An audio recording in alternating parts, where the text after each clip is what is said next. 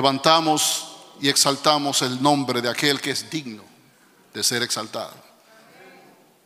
Solamente Él es digno de ser adorado, más. Solamente Él. Y Él se dispuso para tomar mi lugar. Cuando yo merecía que se me tirara al zafacón. Cuando yo no podía ni mirar hacia el Santísimo. Él me ha dado ahora puesto a la derecha del Padre. Mi vida está escondida en Él. Mi vida vale hoy por Él. Somos, somos lo que somos por Él. Porque solamente Él es digno, amado. Solamente Él podía hacerlo. Leemos en la palabra muchas cosas. Y una vez, mientras estaba estudiando, pasé por el capítulo en Romanos donde dice la paga del pecado es muerte. ¿Usted lo ha leído? Y me puse a meditar en eso. Y perdóneme si este es su concepto, pero la vida suya, la muerte suya, no basta para pagar su pecado.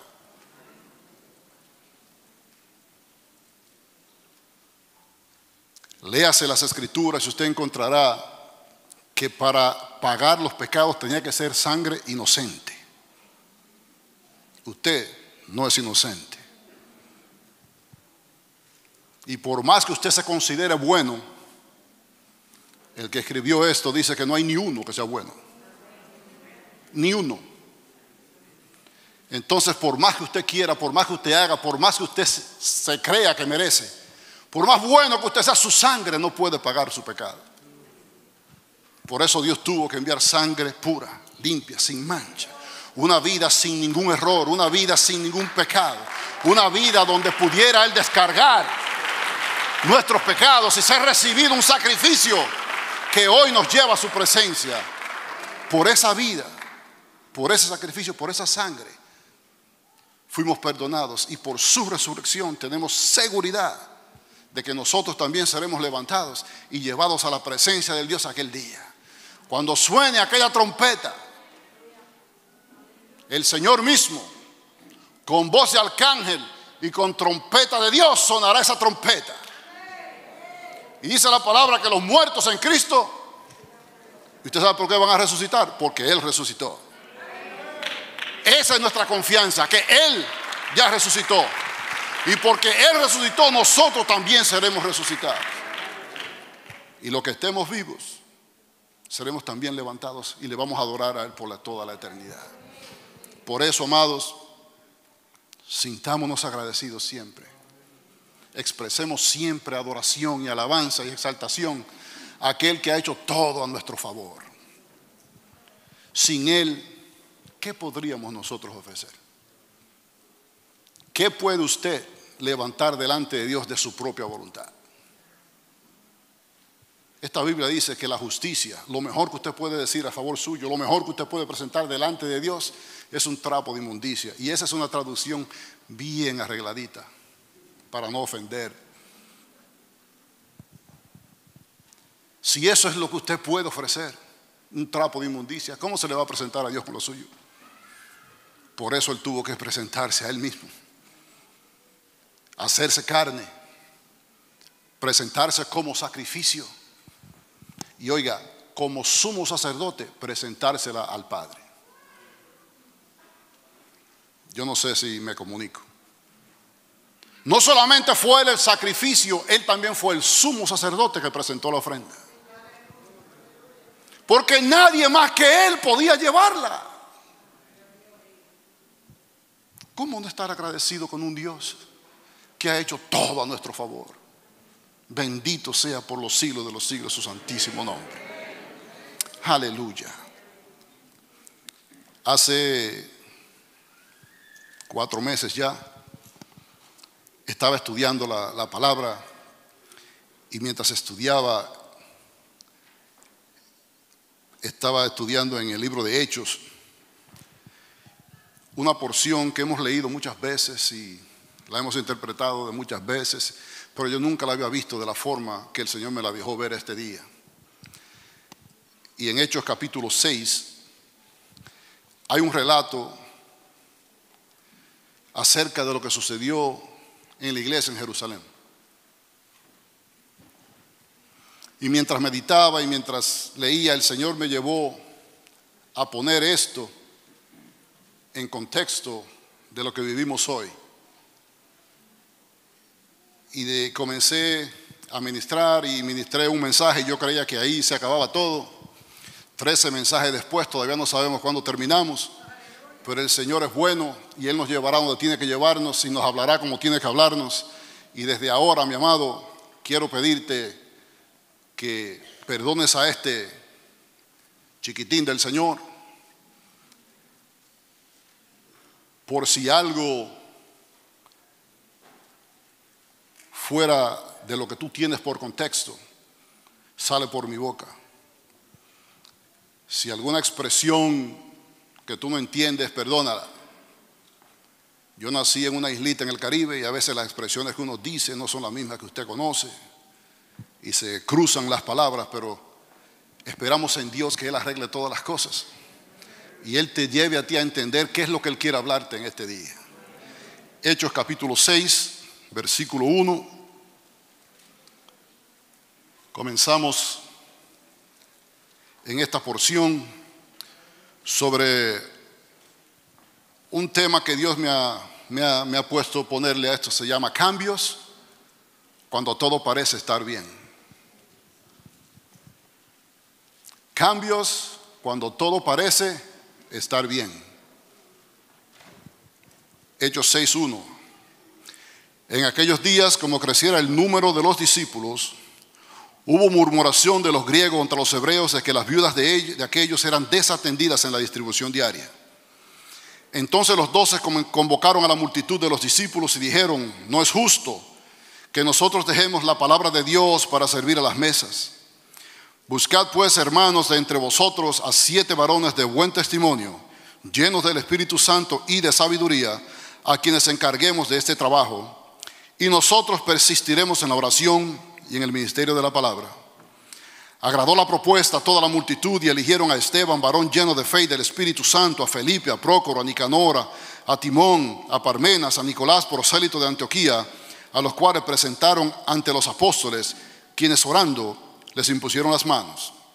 Y crecía la palabra del Señor y el número de los discípulos se multiplicaba grandemente en Jerusalén. También muchos de los sacerdotes obedecían a la fe.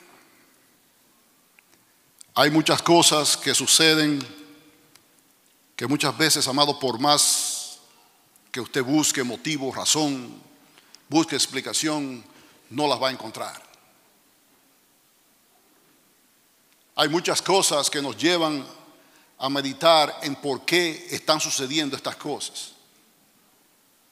Desde agosto hasta el día de hoy, el Señor ha estado ministrándonos acerca de dispersión y nos, ha estado hablando de muchas de las cosas que nos han llevado todo este tiempo por lo que estamos viviendo, no solamente como iglesia, sino lo que está viviendo el mundo entero. Y a pesar de que el Señor ha estado hablando tanto, muchas veces nos entra por una oreja y nos sale por la otra. Y como que no se nos queda nada, o no entendemos, o no queremos entender. Porque muchas veces ya tenemos una idea, ya tenemos un concepto de qué es lo que queremos escuchar. Y cuando el Señor comienza a hablar y no es lo que usted quería, ya le ponemos un, escudo y no queremos escuchar y a veces nos, nos transamos y no hay quien nos cambie de, modo de pensar. Y ya tenemos una idea de cómo queremos que las cosas sucedan, pero amado, nosotros estamos sirviéndole a un Dios que tiene control de todas las cosas. Un Dios que hace como Él quiere, cuando Él quiere, donde Él quiere. Y que al final de todas las cosas, muchas veces, por no querer llegar hasta el final, nos salimos del camino en el medio, porque queremos un atajo,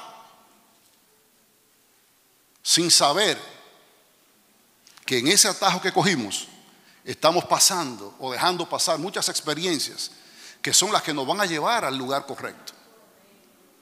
Yo venía guiando de Florida la semana pasada y cuando llegué a Virginia, el, el GPS cambió de ruta. Y cuando cambió de ruta, me añadió una hora más a la ruta. Y yo decía, wow, ¿me voy por allí o sigo por donde estaba? Entonces abajo puso ruta alterna. La ruta anterior le coge tanto más. Y salí por el camino, seguí la ruta que me dio el GPS y llegué, le di vueltas a Maryland por lugares que yo jamás sabía que existían. Pero todo eso lo hizo para darle alrededor a todo Washington y sacarme al otro lado. Si usted ha guiado alguna vez cerca de Washington, usted sabe que el tráfico en esa ciudad es una cosa horrenda. Si usted se queja del Cross Bronx, métase a la autopista en Washington cuando está el tráfico pesado y usted sabrá lo que es un entaponamiento.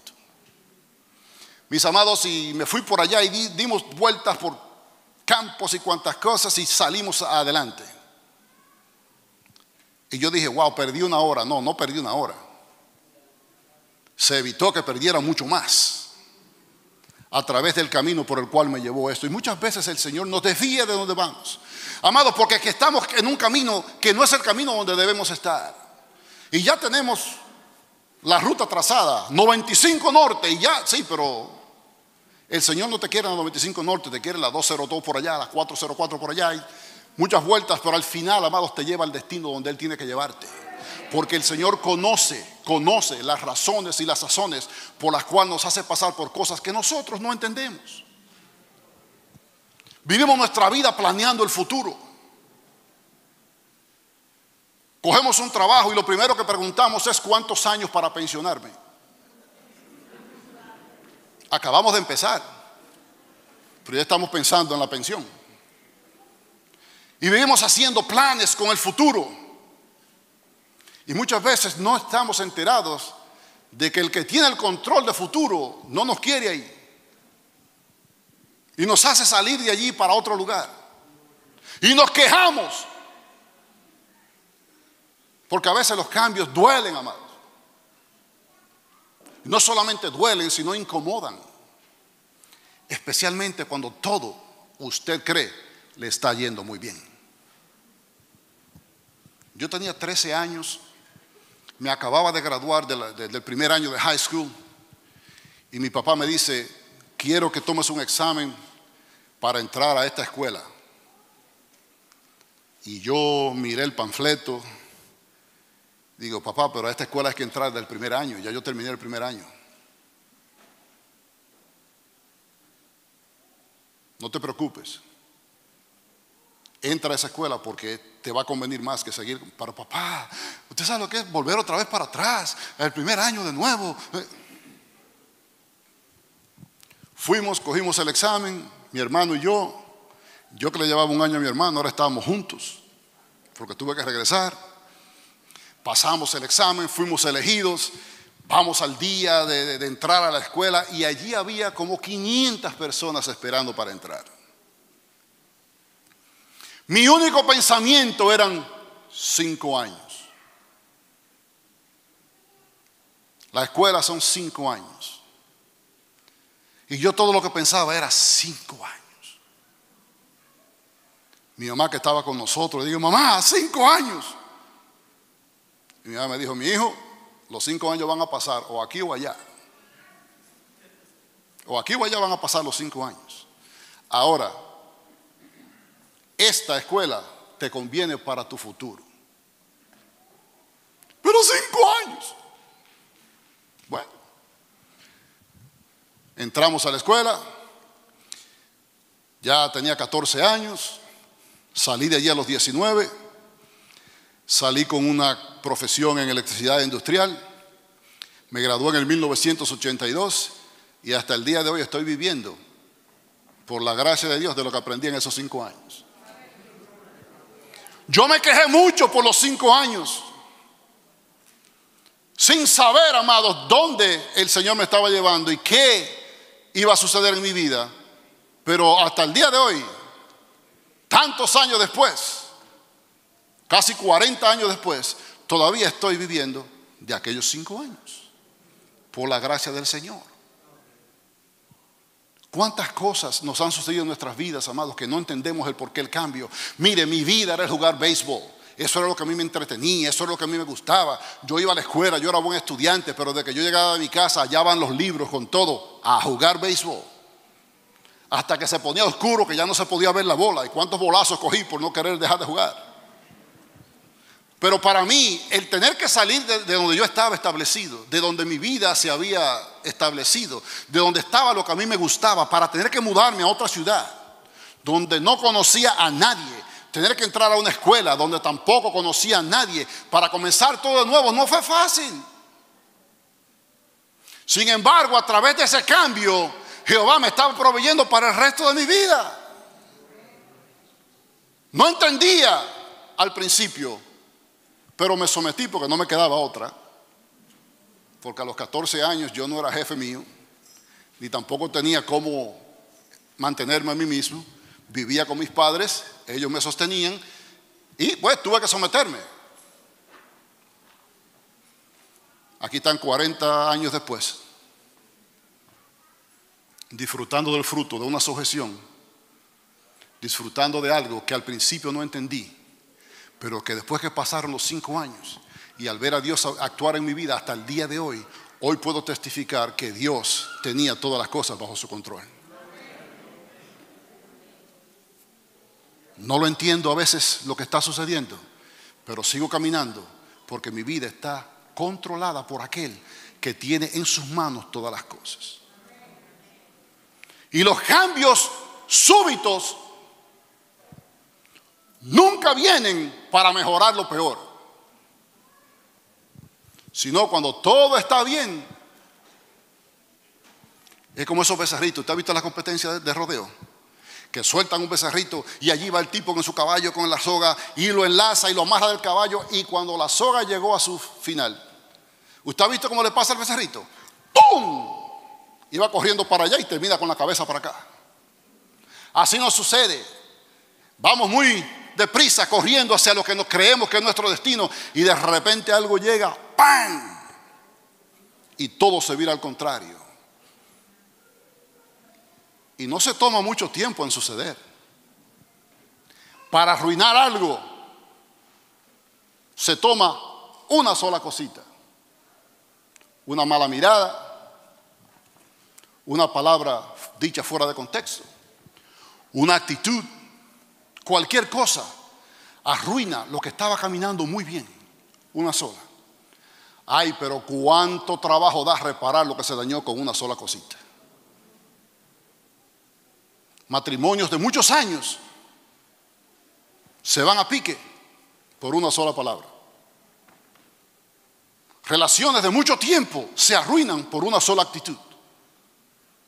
Amados, personas que conocemos por muchos años, el día que usted le pasa por el lado, lo vio o no lo vio y no lo saludó, ya con eso se armó un problema.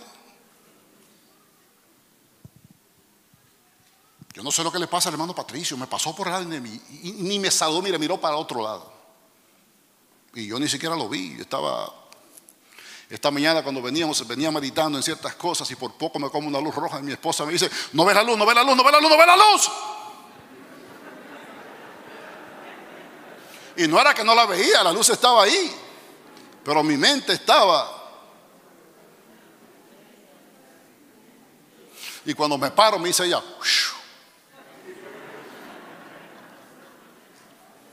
Suceden muchas cosas en nuestras vidas, amados, que no le encontramos la razón. Pero la actitud con la que nos enfrentemos a esas cosas determinará cómo será el final cuando lleguemos donde tenemos que llegar. Nuestra actitud en cómo nos enfrentemos a lo que Dios está haciendo con nosotros va a determinar cómo llegaremos hasta, hasta el final. O nos sometemos a lo que Dios está haciendo o abandonamos la barca en medio de la mar. Pero para que no le pase a usted como Jonás, que quiso salir para el otro lado y Dios lo llevó como quiera donde tenía que estar, sometamos a lo que Dios está haciendo con nosotros. Obedezcamos la voluntad de Dios. Busquemos que Dios nos declare qué es lo que está haciendo. Y si Él no quiere declararnos, sigamos caminando por donde Él nos mandó a caminar. Porque llegaremos al final, al camino y al lugar donde el Señor quiere que lleguemos.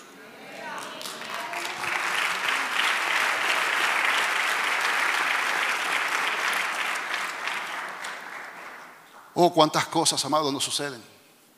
A veces no creemos que ya estamos muy tranquilos, muy sentados. Usted tiene su carrito, que será viejito, pero usted lo tiene bien cuidado. Y usted se monta en su carro, ¡boom! y lo lleva donde tiene que llevarlo. Y regresa a su casa sin problemas. Y usted allí lavando el carro y lo pule y le echa cosas a las gomas para que brillen y lo tiene como una niña. Pero el día que usted tiene una reunión importante, que usted tiene que estar en un lugar temprano, y usted se aseguró de poner el reloj despertador, pero no se dio cuenta que en lugar de AM lo puso en PM. ¿Le ha pasado a usted? Bueno, más a mí que me pasa eso. ¿Ah? Y usted se levanta, oh my God, y, estoy, y comienza a correr y se tira la ropa por encima y sale corriendo, se monta en el carrito y nada. Le da la llave y no hace ni clic. El Rolls Royce suyo, que nunca le falla, el día que usted más lo necesitaba, le falló. Y usted se incomoda, le entra puñetazos al volante, le da otra vez, dice dos o tres cosas, abre la puerta, estrella la puerta, abre adelante, mira todo y el carro nada de funcionar. Le ha funcionado siempre, pero ese día no funcionó. Y en su furia, usted le grita cuatro o cinco cosas al carro, como que eso lo va a arreglar. Y después de todo le da un puntapié, ¡pum! Y ahora tiene dos problemas. Bueno, tres. Que el carro no prende, que ahora tiene un abollón donde usted dio el puntapié y que ahora usted tiene un dedo roto del zapato. Y todo, amados, porque el carro no le trabajó. Usted llama al mecánico, se llevan el carro, usted se busca un taxi se va.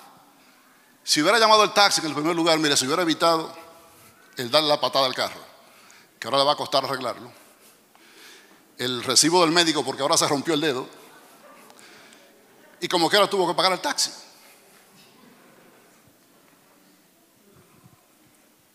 Pero en todas esas cosas, después nos enteramos de que en el camino que nosotros íbamos a, coger sucedió tremendo accidente. Y que usted calculando se da cuenta que si usted hubiera arrancado a la hora que iba, hubiera estado en el mismo momento que sucedió el accidente. Y entonces usted ahora le da gracias a Dios porque no le dejó arrancar el carro. Yo trabajaba por la tarde y salía de mi trabajo a las doce y media de la noche. Tomaba un tren para ir a Jersey City, de ahí cogía mi carro para irme a mi casa.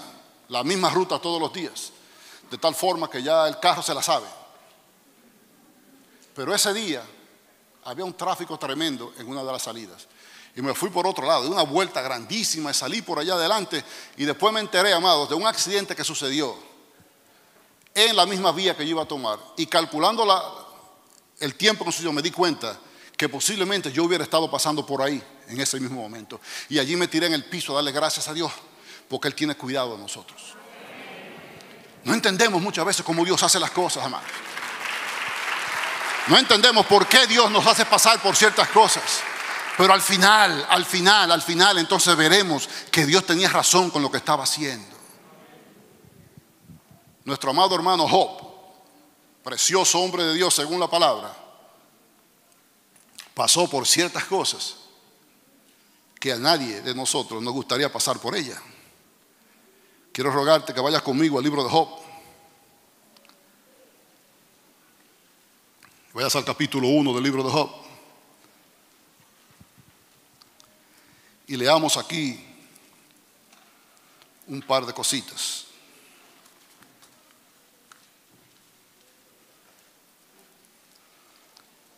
Mire, la, Biblia mía tiene un, título para ese capítulo, se llama Las calamidades de Job. Y hubo en tierra de uso un varón llamado Job, y este era hombre perfecto y recto, temeroso de Dios y apartado del mal. Y le nacieron siete hijos y tres hijas. Su hacienda era siete mil ovejas, tres mil camellos, quinientas yuntas de bueyes quinientas asnas y muchísimos criados. Y era aquel varón más grande que todos los orientales. E iban sus hijos y hacían banquetes en sus casas, cada uno en su día, y enviaban a llamar a sus tres hermanas para que comiesen y bebiesen con ellos. Y acontecía que habiendo pasado en turno los días del convite, Job enviaba y los santificaba, y se levantaba de mañana y ofreció holocaustos conforme al, nombre, al número de todos ellos, porque decía Job, quizás habrán pecado mis hijos y habrán blasfemado contra Dios en sus corazones. Y de esta manera hacía todos los días. La palabra habla de Job como uno de los más grandes que había en todo el oriente. Hubo en tierra de uso un llamado y este era hombre perfecto, recto, temeroso, apartado del mar y, de, y detalla todas las cosas que él tenía. Amado, Job tenía muchas cosas. Job estaba bien. Tenía ganados, tenía criados, tenía su casa, diez hijos, y Job estaba muy bien. Un hombre dicho por la Biblia que era temeroso de Dios, recto, perfecto, apartado del mal. Pero un día, estando él disfrutando de todas sus cosas, todo se le puso boca arriba. Todos sus ganados desaparecieron. Sus hijos muertos. Todas sus propiedades se fueron. Él estaba bien hasta ese momento. Pero de repente todo, amados, en un día. No fue que un año perdió esto y después, no, en un día, todo. ¿Cuál sería nuestra actitud? Como siervos del Dios Altísimo, que vivimos consecuentes a Dios y de repente nos caen encima todas estas cosas. ¿Cuál sería nuestra actitud si nuestra vida se desborona en un momento sin usted haber hecho nada para merecérselo? ¿Cuál sería nuestra actitud? Pero sin embargo, en el mismo capítulo 1, en el versículo buscarlo para no. En el versículo 21 del capítulo 1, Dios, cuando le pasan todas las cosas, esta es la respuesta de Job. Comencemos en el versículo 20. Dice, entonces Job se levantó, rasgó su manto, rasuró su cabeza y se postró en tierra y adoró. Y dijo, desnudo salí del vientre de mi madre y desnudo volveré allá. Jehová dio y Jehová quitó, sea el nombre de Jehová bendito. ¿Sería esa nuestra actitud, amados? Cuando todas las cosas se acaban. ¿Es esa nuestra actitud cuando nos sucede lo que no creemos debe de sucedernos? Porque muchas veces no creemos que por servir a Dios nada debe de sucederme. Hay mucha doctrina donde se dice que si usted se enferma, entonces usted está en pecado porque ningún siervo de Dios puede estar enfermo. Y después los mismos que están predicando se mueren de una enfermedad y no le dicen a nadie. Sí, porque quedan en vergüenza. Y hay tantas cosas, no, porque usted tiene que ser cabeza y no cola. Y no sabemos que nuestra vida, que todo lo que somos esté en las manos de un Dios que sabe y que hace como Él quiere, cuando Él quiere y donde Él quiere. Y que si Él quiere usarnos a nosotros, amados, su propio Hijo fue sacrificado. Dígame usted, ¿qué había hecho Jesús para merecerse tal cosa? Pero Él se dispuso desde antes de la fundación del mundo para ser el Cordero de Dios por el cual Él iba a quitar el pecado del mundo. Aquí está Job hombre bendecido por Dios en todo, perdiéndolo todo, y su expresión es Jehová dio, Jehová quitó, sea el nombre de Jehová bendito. Ay, hermano, ay, no tengo para la renta. Usted sabe lo que es eso. Una mujer que le sirve, un hombre que le sirve a Dios. Mire cómo yo estoy. Y esto no lo digo por burlar de nadie, amados. Es que así nos sentimos a veces.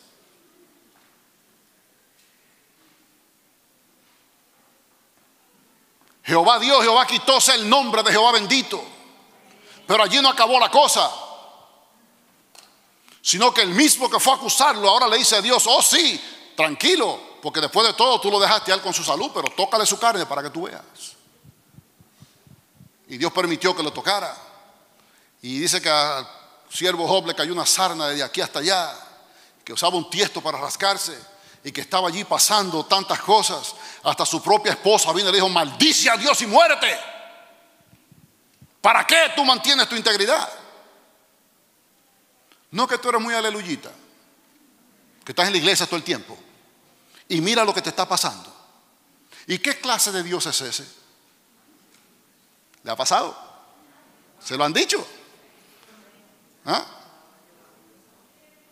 Pero amados, ¿usted le sirve a Dios por lo que Él le da o usted le sirve a Dios por quien Dios es? Muchas veces he dicho y lo repito, muchas veces le servimos a Dios como un matrimonio por conveniencia. Estamos casados con alguien porque me conviene, no porque le amo. Y a Dios no se le va por lo que Él da, sino por amor. A Dios le servimos porque Él nos amó a nosotros. A Dios le servimos porque Él es digno de ser adorado. No por lo que yo puedo sacar de Él. Porque usted se cree que usted va a engañar a Dios sirviéndole así. Si Él lo conoce todo.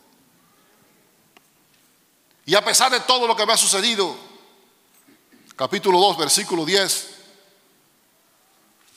la respuesta de Job ante todo lo que, le sucedió y lo que su mujer le dijo, él le dijo, versículo 10, y, capítulo 2, versículo 10, y él le dijo, como suele hablar cualquiera de las mujeres fatuas, has hablado, ¿qué? Recibiremos de Dios el bien y el mal no lo recibiremos.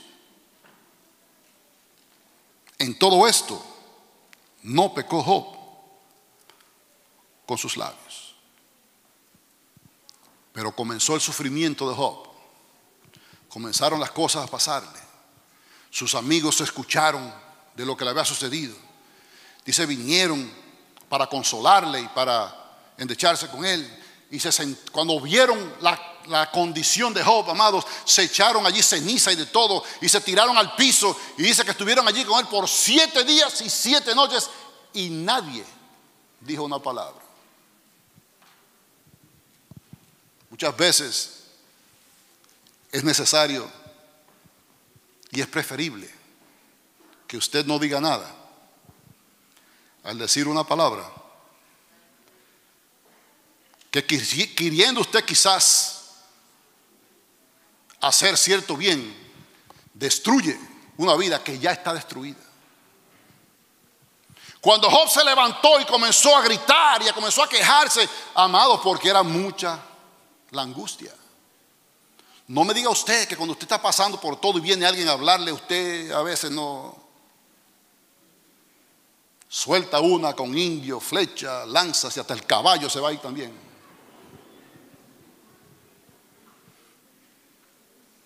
Y Job comenzó a decir cosas que quizás usted dijera, wow, lo que salió de la boca de un hombre que dice la palabra que no pecó con su boca.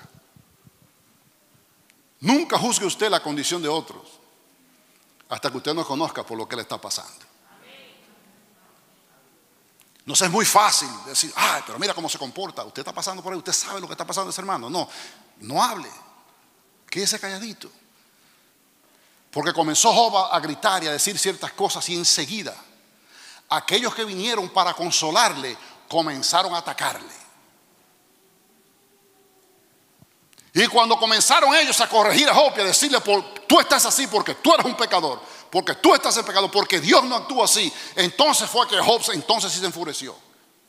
Y comenzó a decir muchas más cosas. Y ya conocemos todo lo que sucedió con Job. Entendemos que el propósito de Dios con Job era llevarlo a cierto lugar para él declarársele a él como quien era.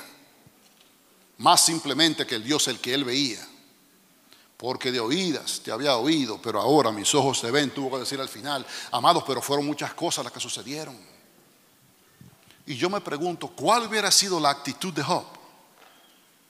Lo que hubiera salido de la boca de Job, si en vez de acusarle y arremeter contra él, hubieran ido de verdad a consolarle.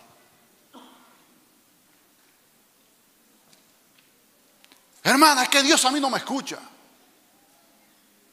Usted puede hablarle a esa persona de dos formas, facilito.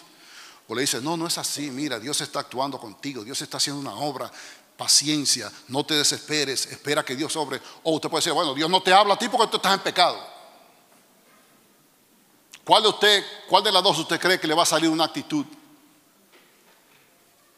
calmada, de adoración a aquella hermana? ¿Aquel que le acusó de, estar pecando o aquel que le está diciendo ten paciencia que Dios sabe lo que está haciendo? ¿Cuál hubiera sido la actitud de Job, amado, si aquellos tres amigos, en vez de arremeter contra él, lo hubieran consolado de verdad? Quizás la historia, entendemos, amado, que la palabra está allí y que Dios tiene propósito con todo lo que hace.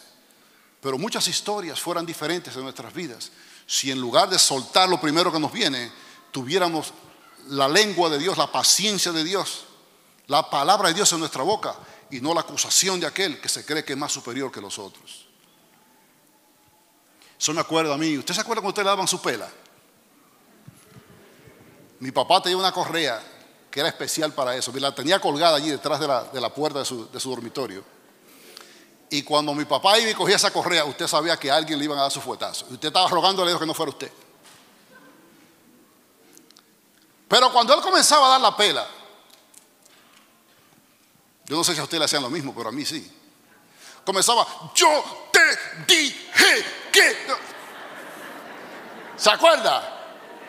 ¿Cómo le gustaba a usted que en el medio de, los, fuetazos le estuvieran recordando a usted las cosas que usted hizo? Como que a nadie, y estoy brincando para ver si...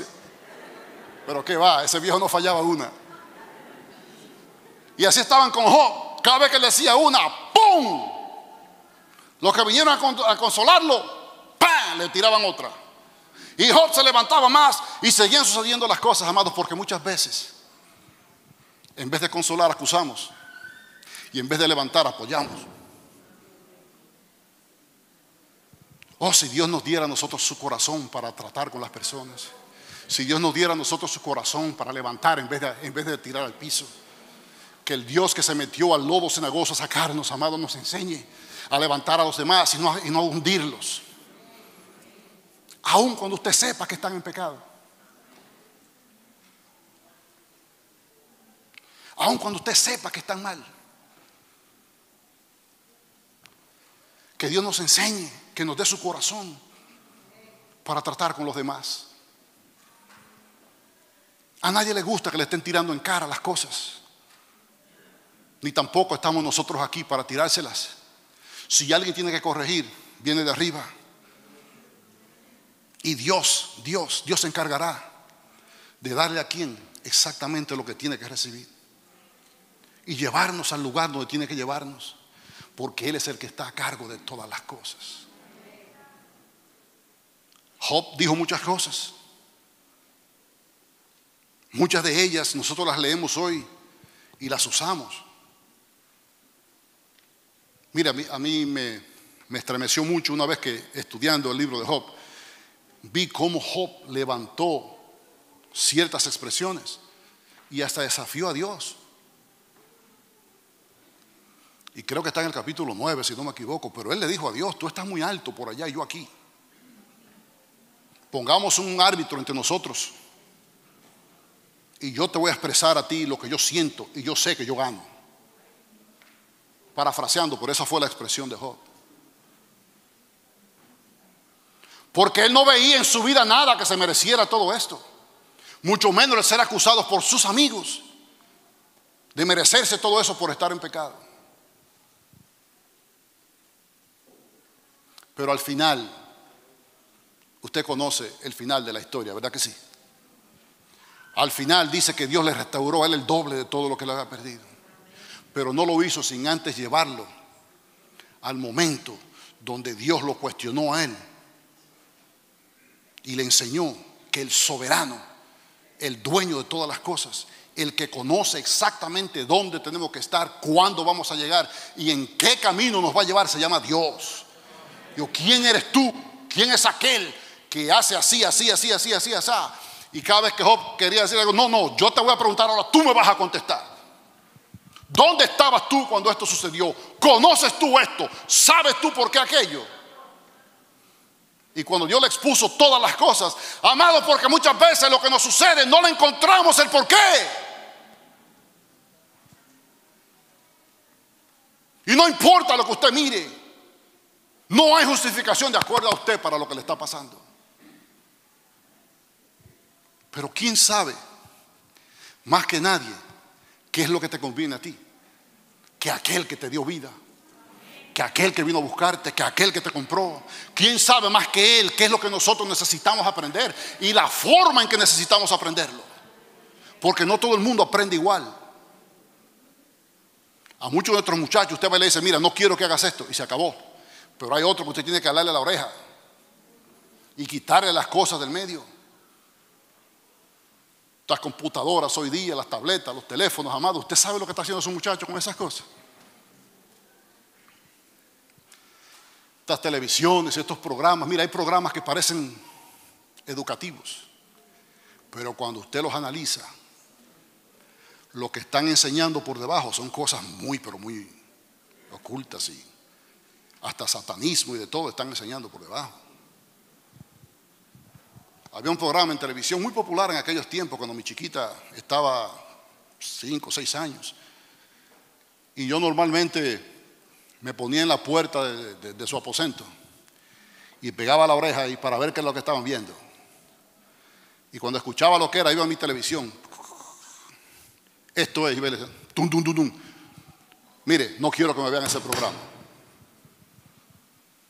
Pero no, no, no, no quiero que me vean ese programa. Esto tiene esto, esto, esto, esto y aquello. No quiero que me lo vean. Y no tenía que decírselo dos veces. Gloria a Dios por ello, pero hay otras cosas que tengo que quitárselas, bloquearlas y hacer muchas cosas. Porque si no, siguen haciendo cosas que, que no les convienen, aunque ellos se creen que son divertidos. El apóstol Pablo dice, no todo es conveniente. Todo es lícito, pero no todo conviene. Hay cosas que hay que echar al lado porque no son convenientes, aunque les sean agradables. Y Job tuvo que ser educado de cierta forma por Dios, que hoy nosotros vemos y entendemos, pero en aquel momento Job no entendía nada de eso. Hasta que Dios le declaró todas sus verdades. Y entonces Dios lo restauró al doble de lo que tenía. Pero el proceso, el proceso no fue fácil. Si nos sucede a nosotros una milésima parte de lo que le sucedió a Job, quizás Dios tenga que venir también a decirnos igualito, ¿quién eres tú para cuestionarme a mí? Y hemos estado pasando cosas terribles en los últimos meses. Hemos vivido experiencias, amado, a las que nunca quisimos vivir. Pero Dios sabe dónde nos está llevando, cómo nos va a llevar y en el lugar donde nos va a llevar y depositarnos. Y Él sabrá cuándo terminará con todo esto. Nuestro trabajo es seguir en la voluntad de Dios y buscando su voluntad. Aunque a veces no entendamos ni papa, como decimos, de lo que Dios está haciendo. La iglesia en Jerusalén estaba viviendo su mejor momento. Léase Hechos, el capítulo 1 al, 5. Amados, mire, sanidades por doquier. Milagros. Pedro y Juan iban al templo, allí estaba uno pidiendo, levántate en el nombre de Jesús. Y por eso se armó un problema grandísimo en Jerusalén y ellos tuvieron que ir frente a, los sacerdotes y allí a los gobernantes y lo metieron en la cárcel y allí lo sacó el, ángel y le dijo, váyanse al templo otra vez a predicar. y la iglesia estaba creciendo. Los hermanos estaban dando todo lo que tenían, lo vendían, lo ponían a los pies de los apóstoles. Todo el mundo era suplido. Dice que ninguno tenía necesidad de nada, porque había para todo el mundo. Pero un día, en medio de tan grande gloria, surge un episodio que si nosotros lo consideramos al día de hoy, hubiera sido un episodio de racismo interno en la iglesia. Hechos capítulo 6 otra vez, si me lo pueden poner allá, por favor.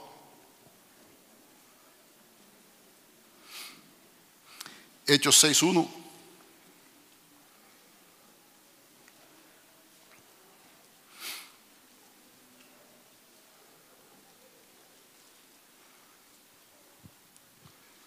En aquellos días, como que creciera el número de los discípulos. Había crecimiento en la iglesia. ¿A qué pastor no le gusta una iglesia que esté creciendo? Amados, usted sabe las cosas que se hacen hoy para provocar crecimiento en la iglesia. Usted sabe las cosas que se hacen y que se inventan para lograr que la iglesia suba de número. Y en aquellos días dice que estaba creciendo el número de los discípulos. Pero sucedió algo que le tiró una llave entre el medio del motor que estaba trabajando ese día. Dice que hubo qué? Y hubo murmuración. ¿Usted sabe lo que es murmuración? Según el diccionario, la Real Academia y todo lo demás, es una conversación en perjuicio de un ausente. ¿Qué es una murmuración? Es una conversación en perjuicio de un ausente. En otras palabras, es ponerse a hablar en contra y por la espalda del que no está ahí. Dice además el diccionario, estos son los sinónimos, o lo que significa lo mismo que murmuración. Chisme. Oiga, qué silencio. Si vuela una mosca se oye... Chisme, crítica, calumnia, habladuría y pone una aclaración y dice, cada vez que se reúne un grupo de personas, no todas las opiniones son iguales y en la gran mayoría de los casos siempre hay opiniones contrarias entre los que deberían estar de acuerdo. Pero cuando se separan, entonces comienza la habladera.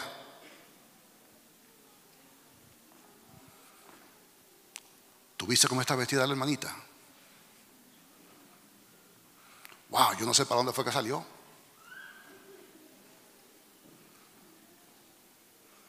Como que no se da cuenta que está en la iglesia. Y te estoy diciendo esto para que me ayudes a orar. No es por nada, es para que me ayudes a orar, para que Dios le hable a la hermanita.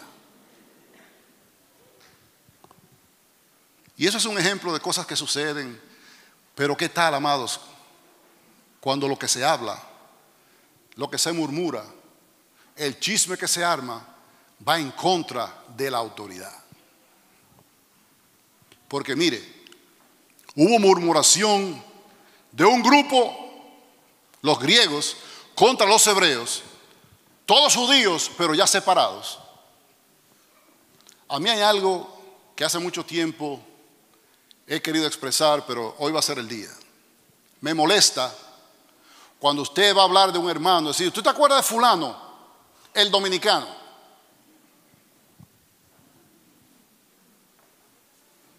No, no, la hermanita aquella, la, colombiana. ¿Tú te acuerdas, el hermanito que se estaba allí, el boricua? Amados, ¿qué es eso? La palabra dice que ya usted no es ni judío ni es, ni es griego. Que usted es uno en Cristo. Ya aquí no somos ni dominicanos, ni colombianos, ni puertorriqueños, ni peruanos, ni, salvadoreños. Somos uno en Cristo. Ese es mi hermano y se acabó. Aprendamos, amados, a, a, quitar esas cosas, porque mire, aún en la iglesia, que estaba como estaba, había división entre griegos contra hebreos, todos judíos. Y se armó una murmuración. Lo que significa que se, comenzó a habladera, pero no era simplemente una, no, no, porque a mí no me dieron hoy, no, no, no, no, ya se había hecho una murmuración, ya estaban hablando en contra de los que estaban a cargo. Porque cuando la murmuración se, se mete en la iglesia, ya se está hablando en contra de lo que el Señor tiene gobernando. Yo recuerdo, amados, al principio que yo llegué a esta congregación, el respeto por el gobierno en esta casa fue una de las cosas que más me atrajo no se atrevía nadie a decir una palabra que fuera una calumnia o lo que fuera en contra del pastor. Ay, papá. Porque enseguida lo paraban. No, no, así no se habla aquí de la cabeza. Punto. Y se acabó el problema. Yo no sé qué es lo que le pasa a los ancianos, ellos se creen que son los dueños. En aquel tiempo no se permitía ese tipo de cosas, amados. Pero muchas veces suceden. Y si no le ponemos freno a tiempo, se convierten en algo más grande. Hasta el punto que hasta se ignora muchas veces la autoridad que Dios ha puesto. Se armó una murmuración y se dijo, bueno, es que aquellos no nos atienden a nosotros porque nosotros somos de los griegos, de los extranjeros.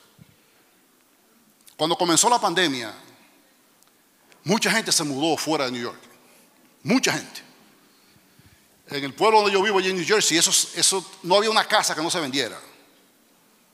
Se vendieron todas y muchas de las personas que vinieron, pues venían de New York City y en, la ciudad de Nueva York las cosas se hacen diferentes que como se hacen allá.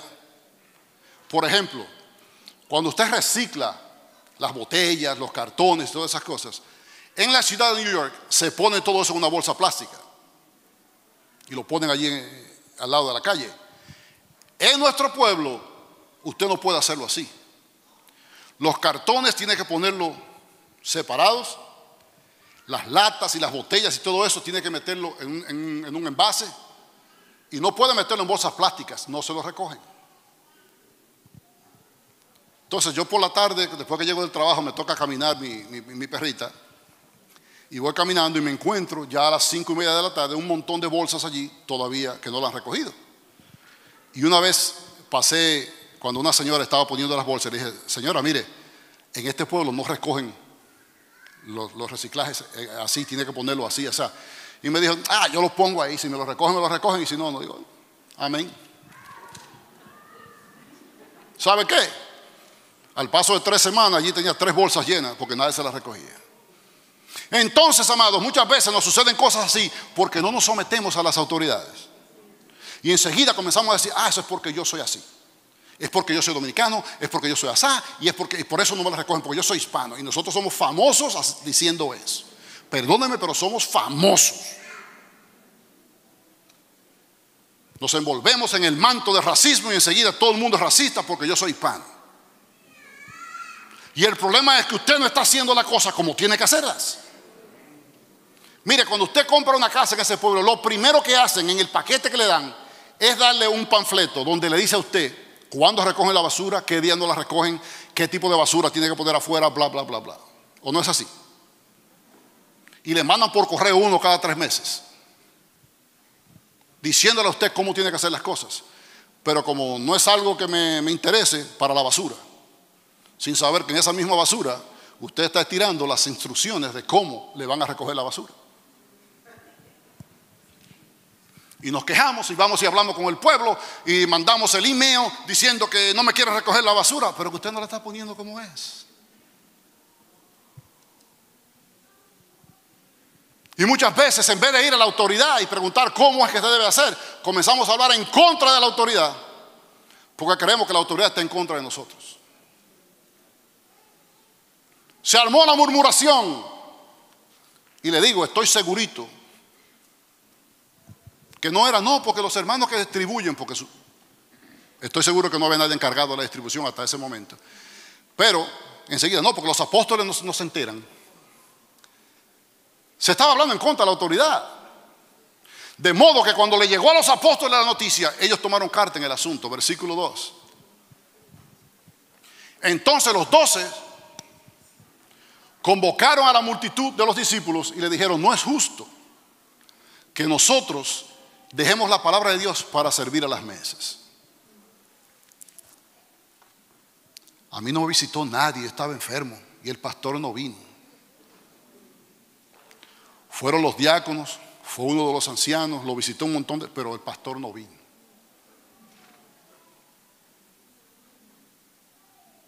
¿No fue a la iglesia a visitarte? ¿O es que el pastor es la iglesia? ¿Te visitó alguien de la iglesia? Fueron y oraron por ti. Yo he visto a mis, hermanos, los, diáconos, recoger la Santa Cena para llevársela a los enfermos, a las casas, a los hospitales.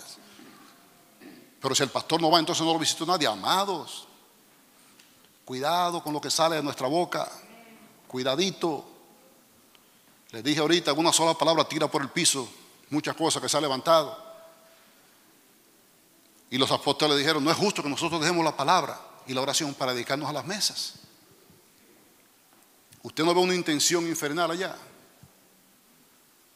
Poner al pastor a hacer cosas que no tiene que hacer. Entonces se descuida la palabra. Y unos cuantos días después usted dice, esta palabra como que no me sabe a nada. Pero si tiene al pastor envuelto en apagando fuegos, haciendo de todo y no, no, puede estudiar, no puede ponerse en la presencia de Dios a estudiar la palabra, entonces ¿cómo usted quiere que le dé buena comida? Si no pudo cocinarla. Pero comenzaron los apóstoles no, no, no, no es justo que nosotros hagamos eso para dedicarnos a servir a las mesas. Próximo versículo. Busquen pues, hermanos, de entre vosotros a siete varones. Y aquí viene algo que necesito que usted ponga atención. Escojan siete varones primero. ¿Cómo? De buen testimonio. Segundo, llenos del Espíritu Santo. Tercero, de sabiduría.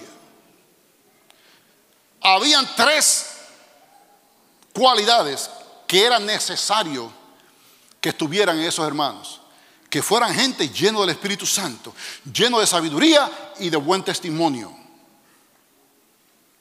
Porque cuando usted comienza a manejar cosas que son de valor, si usted no tiene buen testimonio, va a echar por encima, por el piso, todo el trabajo que Dios ha hecho. Porque siempre, amado, siempre habrá alguien que diga que son unos ladrones. Usted sabe cuántos pastores son acusados de ladrones todo el tiempo. Y yo les repito lo que dice nuestro pastor, no son pastores ladrones, son ladrones vestidos de pastores. Pero cuando hay un mal testimonio se daña el ministerio. Y estas personas tenían que ser de buen testimonio, gente en la que se pudiera confiar, que fueran llenos de sabiduría y llenos del Espíritu Santo. ¿Y usted sabe para qué eran esas condiciones?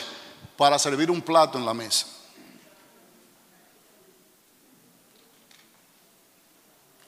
Para servir un plato en la mesa era necesario que fueran gente de buen testimonio, que fueran llenos del Espíritu Santo y llenos de sabiduría.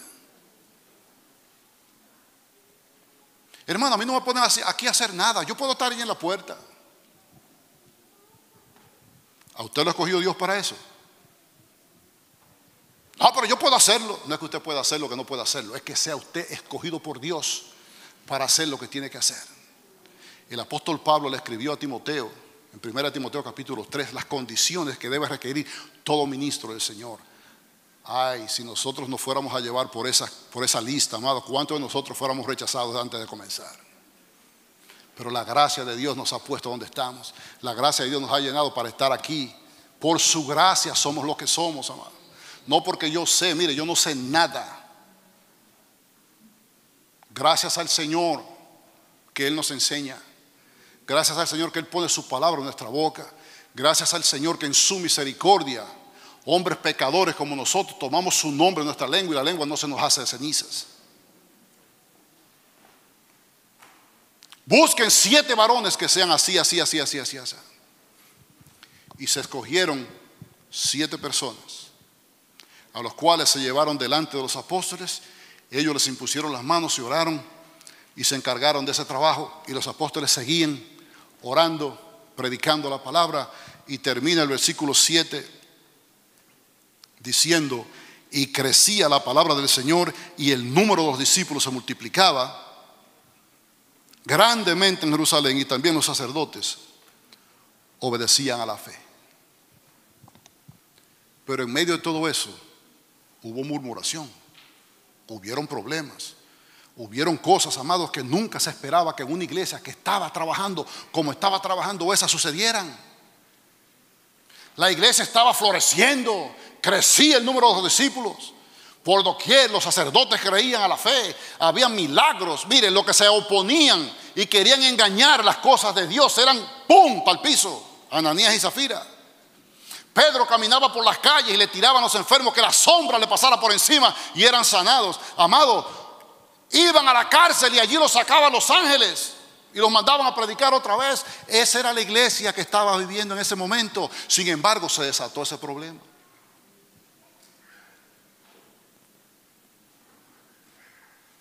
Ay, hermano, ¿y por qué suceden ese tipo de cosas? Porque Dios tiene algo más grande al final. Se desató ese problema, se escogieron estos siete varones y sabe usted quién se encargó de predicar la palabra y de llevar la palabra por todas aquellas ciudades y, ser ejemplo para que hasta el día de hoy estemos hablando de ellos. Esos siete.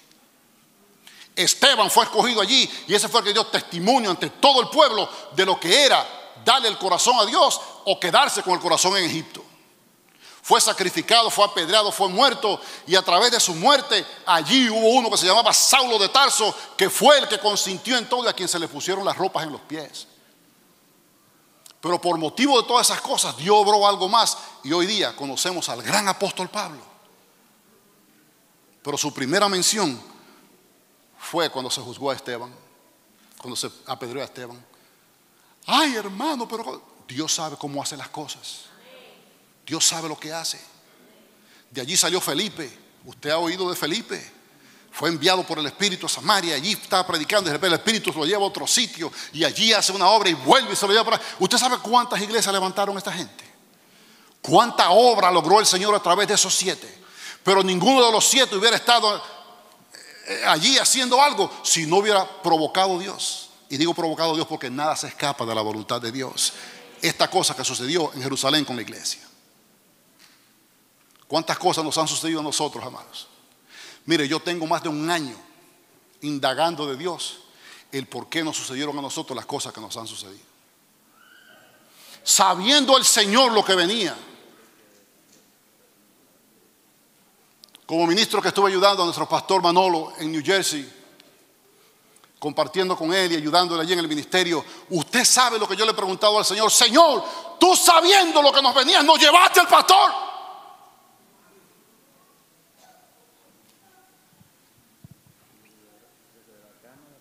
Lágrimas en mis ojos, indagando por qué pasan las cosas, no entendiéndola, pero yo sé que el Señor tiene algo superior para nosotros al final.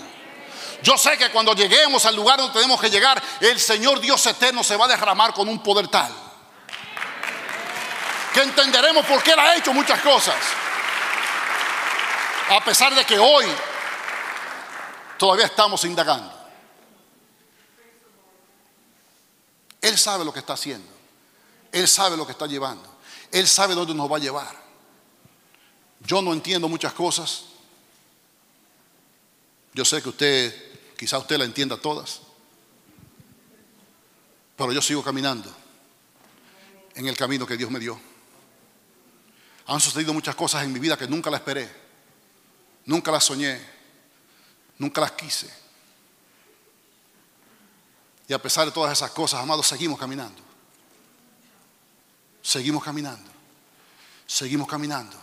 Porque yo sé que en medio de todo eso me está sosteniendo el Dios Todopoderoso. En medio de todas esas cosas nos está llevando hasta allá el Dios Todopoderoso. Hoy cuando lleguemos al final del camino, entonces Dios se levantará y declarará por qué ha hecho tantas cosas con nosotros. Nos dispersó, pero volvió y nos recogió. Yo no sé, amado, mire, permítame decir esto, yo no sé si usted entiende o usted ha entendido la bendición de este lugar donde Dios nos ha traído. Nosotros veníamos de camino, mi esposa y yo, y pasamos por una iglesia por allí cerca, donde está el grupo de adoración en el parqueo y todos los miembros en sus carros. Ese es su culto. Hay muchas iglesias cerradas, muchos lugares donde nadie puede reunirse. Mire donde usted está, mire a su alrededor, mire a su alrededor, mire a su alrededor. Usted tiene el privilegio de estar en comunión con sus hermanos hoy día.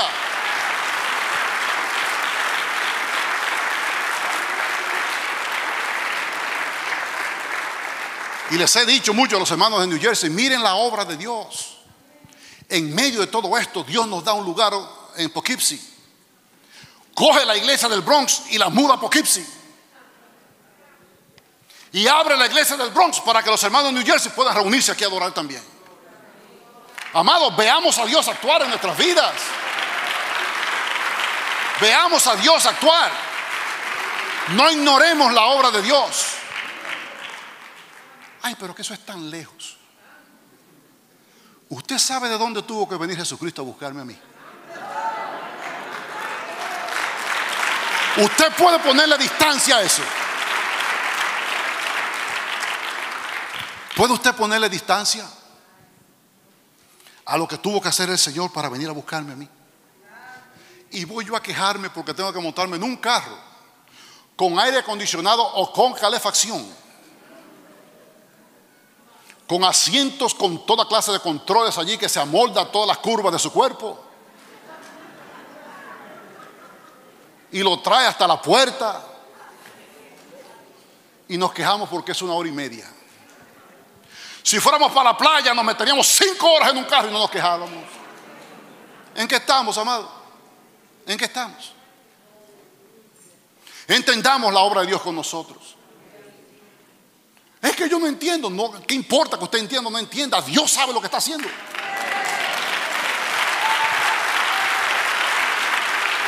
Dios sabe lo que está haciendo. Y al final de todo, entonces usted mirará atrás y dice, wow. Mira que era lo que estaba haciendo Dios. Cuando usted cante, mira lo que hizo Dios, piensa en usted, quien usted era antes. Y bendiga a Dios por donde te ha traído hasta hoy. Bendice al Señor, porque todas las cosas juntas, juntas, nos llevan a donde tienen que llevar.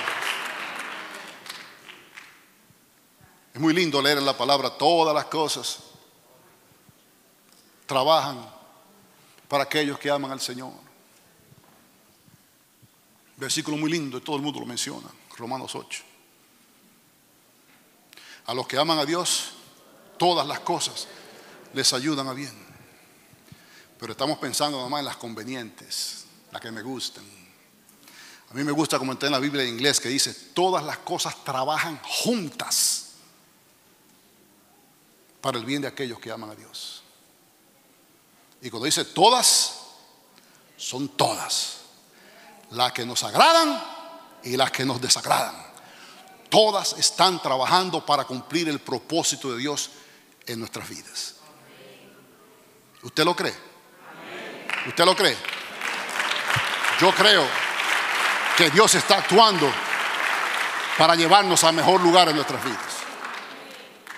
Y que a pesar de que hay muchas cosas que yo todavía no entiendo, yo no voy a juzgar a Dios por lo que yo no entiendo, si yo lo voy a bendecir a Él, porque a pesar de lo que yo no entiendo, Él sigue trabajando en mí. A pesar de lo que yo no sé, Él sigue trabajando en mí. A pesar de lo que yo a veces hasta desobedezco, Él sigue trabajando en mí. Y a su debido tiempo, Él me va a llevar donde yo tengo que estar, en el lugar donde tengo que estar, a la hora que tengo que estar, y Él va a lograr su propósito en la vida mía y en la vida de cada uno de nosotros.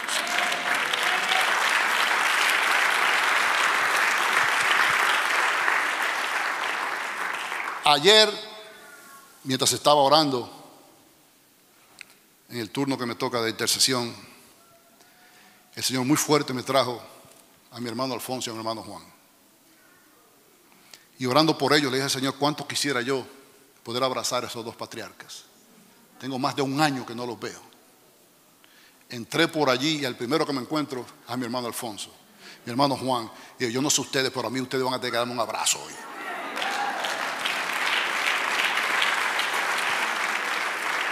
El estar juntos, amados, es una bendición de Dios.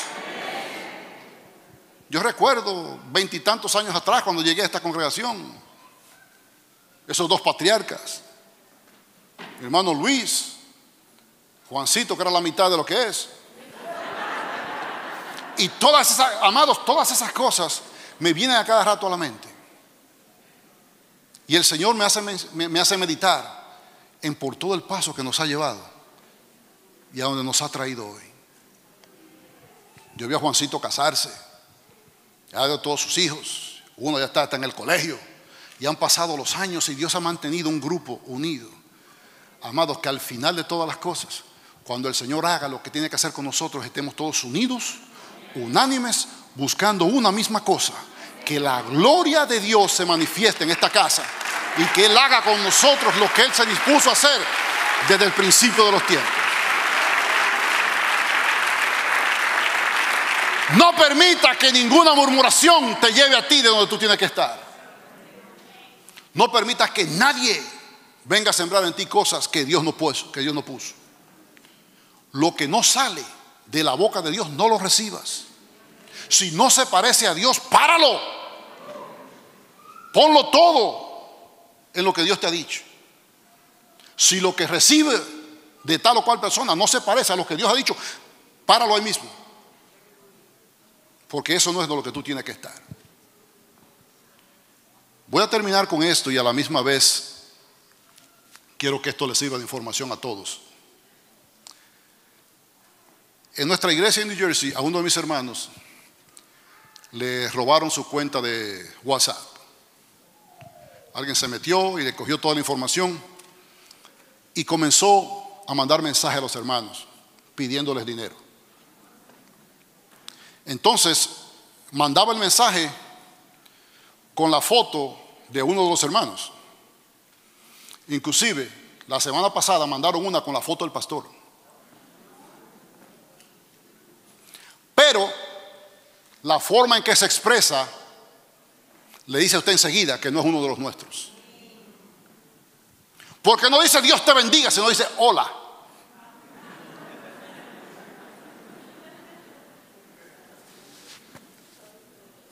Y los hermanos me llamaban, pastor, pero yo le mire, amados, hemos recibido instrucción desde el principio de cómo usted debe tratar con este tipo de cosas.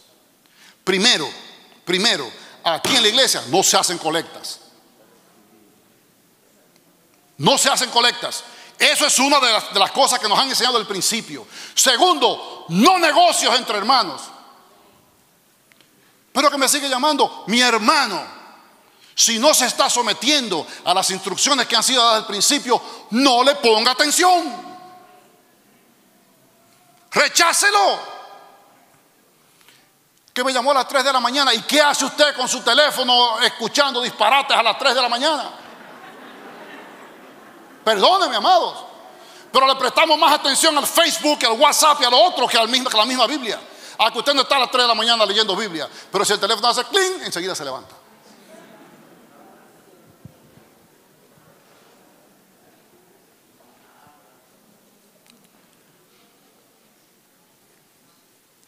Si no se parece a lo que Dios te ha dado, recházalo. Punto. Si alguien te escribe y en vez de decirte Dios te bendiga, te dice hola, así no es como nosotros nos saludamos. Ya eso es una indicación. Y aún si te, si te saluda Dios te bendiga, y dice necesito tal cosa, entonces dile que llamen al pastor. Dile que me llame a mí. Dile que me llame. Porque yo entonces le voy a declarar a la persona que sea cómo es que se hacen las cosas en esta casa. Si no, si no cubre los requisitos que vienen de Dios, recházalo. Y eso lo doy por información. Cualquier persona que le envíe a usted un mensaje diciendo que es uno de, de nosotros y hasta la foto, puede que sea la foto mía la foto de quien sea si está haciendo cosas en contra de lo que Dios nos ha dicho por siempre, rechácelo. Y dígale que llame a la iglesia, que me llame a mí, para yo entonces enseñarle las reglas que Dios nos ha dado al principio. No negocios, no colecta, nada. Usted tiene una necesidad, para eso hay ministerios en la iglesia que están para suplir la necesidad. Te lo doy como advertencia. Cualquier llamada que llegue, cualquier mensaje que llegue, que si tú tienes una cuenta de SEO, que si tú tienes una cuenta de cash, que si o qué, que si vimos, amados, párelo ahí mismo. Así no se trabaja entre nosotros. Qué diferente hubiera sido si en vez de armar una murmuración, van donde los apóstoles y dicen, mi hermano, mire, está pasando esto y esto, hay algunas personas quejándose y se arregla ese problema enseguida. Pero todas esas cosas las permite Dios para darnos una lección hoy sometámonos a lo que Dios nos ha enseñado. Hagamos las cosas de acuerdo a lo que Dios nos ha dicho. No nos dejemos arrastrar por cualquier cosa que no sea de acuerdo a lo que Dios nos ha enseñado, amados, y nos ahorraremos muchos dolores de cabeza y seguiremos en el camino que Dios nos ha señalado para cuando Él nos lleve a donde tiene que llevarnos, poder agradarle, poder exaltarle, poder, poder tirarnos a los pies y decir gracias Señor por el camino donde tú nos has traído. Sea la gloria de Dios vista entre nosotros. Sea el Señor llenándonos de sabiduría, de buen testimonio y del Espíritu Santo para que cualquier cosa que Él nos haga o nos pida que hagamos, la hagamos todo para la gloria de su bendito nombre. Aleluya. Padre, gracias, oh Dios. Te bendecimos, oh Señor, porque tú eres bueno, porque para siempre es tu misericordia. Te adoramos, oh Dios eterno, porque confiamos, oh Dios, que tú eres el fiel, que tú eres el verdadero y que tú tienes para nosotros exactamente lo que tú tienes diseñado desde el principio. Ayúdanos a, verte obrar, oh Dios, en todas las cosas. Ayúdanos a bendecir tu nombre, oh Dios, y que cada circunstancia por la que pasemos veamos tu santísimo nombre ser glorificado al final. Te entregamos nuestras vidas, te entregamos hoy nuestra voluntad y te pedimos en el nombre de Jesús que a ti sea siempre la gloria, que a ti sea la honra y a ti sea la exaltación por los siglos de los siglos. Aleluya. Amén.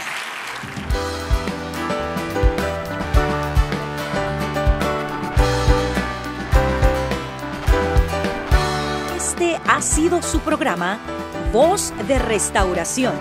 Si desea comunicarse con nosotros, escríbanos al PO Box 70, Bronx, New York 10473 o visita nuestra página web www.elamanecer.org. Nos despedimos hasta la próxima. Que Dios te bendiga.